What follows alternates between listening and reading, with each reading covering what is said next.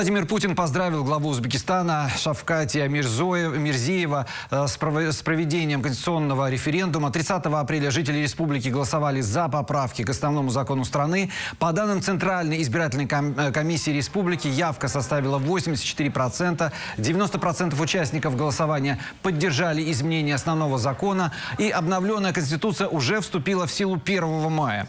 Напомню, реформу предложил действующий глава страны Шавкат Мирзиёев.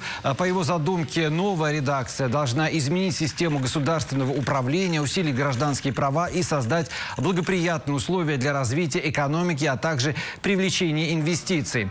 Вот выделю ключевые моменты поправок. Узбекистан провозглашается правовым, социальным и светским государством, которое возникает и признает э, верховенство международного права. В стране отменяется смертная казнь, декларируется принципиальное увеличение социальной поддержки. Гражданам гарантируется гарантируют медицинскую помощь, минимальный размер оплаты труда, а нуждающиеся смогут рассчитывать на бесплатное жилье. Существенные и политические изменения. Срок полномочий президента увеличивают с 5 до 7 лет. При этом одно лицо по-прежнему не сможет занимать этот пост более двух сроков подряд. Все сроки действующего главы государства обнуляются. Итоги референдума уже признали состоявшимися миссии наблюдателей, которые работали в стране в воскресенье. Среди них была и группа сенаторов. С нами на прямой связи сенатор Владимир Круглый. Здравствуйте, Владимир Игоревич. Здравствуйте. Сам итог референдума был ожидаем? Э, ну, безусловно. Подготовка к референдуму проходила достаточно длительно, э, практически в течение года. Э, все новые положения очень активно э, обсуждались в обществе. Вообще э, к написанию нового текста Конституции было привлечено очень большое количество и людей, и обычных граждан, и общественных организаций, государственных структур. Поэтому э, ожидаемо была высокая активность э, людей на голосовании на референдуме, и ожидаемо была э, активная поддержка э, новой, новой Конституции. Ну а в чем все-таки смысл поправок в Конституцию Узбекистана? Почему так важно изменить главный документ страны именно сейчас, как вы считаете? Э, текст новой Конституции переработан более чем на 60%. И э, изменения затрагивают все практически сферы жизни. Это и очень большой блок социальный, где э, появились в новом тексте существенно более, э, больше гарантий и э, бесплатной медицинской помощи. Она стала существенно более доступной. Ну, вернее, в новом тексте Конституции гарантирована доступная медицинская помощь. Изменения коснулись таких сфер, как образование, поддержка молодых семей и так далее – ну и, безусловно, э, декларируется, что теперь э, Республика Узбекистан стала э, социальным государством, что там верховенство права, изменились и государственные, и структуры. Ну, в частности, количество сенаторов в новом тексте Конституции существенно уменьшилось со 100 до 60. Э, то есть изменения коснулись буквально всех, э, всех отраслей жизни людей. Но вот в последний раз Конституция Узбекистана менялась в 2011 году. Чем объяснить такие частые изменения, как вы считаете? Инициатором э, изменений Конституции был президент республики. И э, вот, э, вот эта поддержка нового текста Конституции, это еще и поддержка президента. То есть это не только референдум был по э, принятию нового текста Конституции Республики Узбекистан, но и в какой-то степени, и все это понимают, э, референдум поддержки президента. Президент настроен на более активное проведение реформ в государстве и э, посчитал, что э, начинать нужно с основного конституционного закона, с изменений именно в этом, э, в этом законе. И люди это поняли и поддержали эти изменения. Ну а так все-таки как к референдуму отнеслись граждане? Каким было настроение? Вы знаете, мы в течение вот своей наблюдательной миссии проехали по достаточно многим и городам, и избирательным участкам, вернее, участкам для голосования на референдуме. В субботу мы были в в Самарканде, смотрели, как там идет подготовка к референдуму, насколько готовы участки, насколько э, все хорошо организовано. Ну, традиционно вообще в Республике Узбекистан организация очень высокая. Еще было очень приятно, кстати говоря, э, отношение вот к нам, к россиянам, вообще к нашей стране. Э, исключительно теплое, искреннее, и э, все время нам люди высказывали слова поддержки.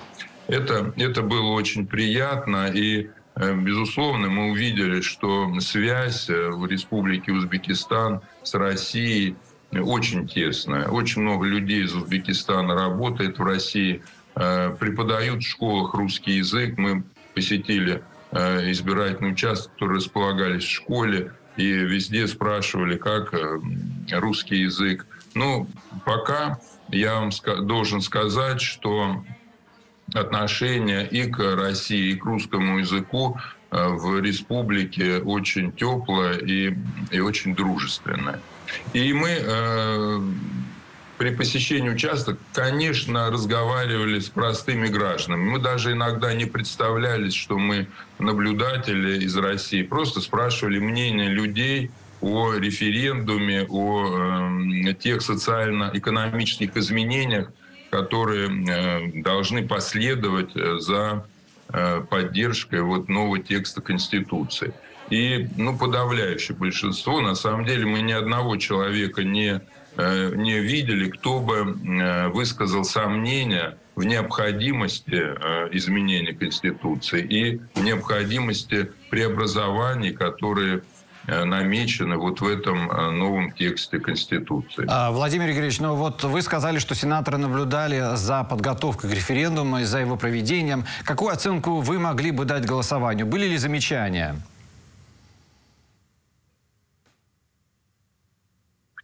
Мы посетили в Ташкенте, причем не в центре города, а совершенно на окраине маленьких участках для голосования больше 10 участков, 12 участков.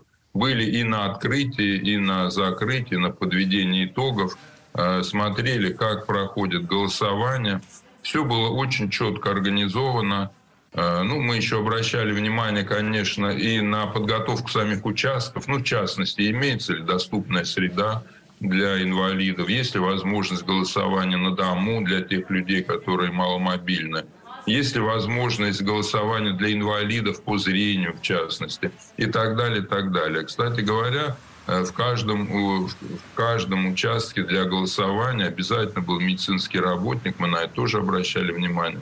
Одна из них, кстати, оказала помощь э, члену нашей делегации, которому э, понадобилось некое медицинское сопровождение – Эм, голосование проходило очень спокойно, организованно. Каждый человек мог э, свободно выразить свою, свою волю. Никакого давления не было. Ну, на подведении итогов, на пресс-конференции, где анализировалась вся ситуация по республике, были отмечены некоторые, ну, такие незначительные нарушения. Ну, когда, например, муж, муж, муж за жену там проголосовал, еще что-то подобное, которые, конечно, не повлияли на, на исход э, от голосования.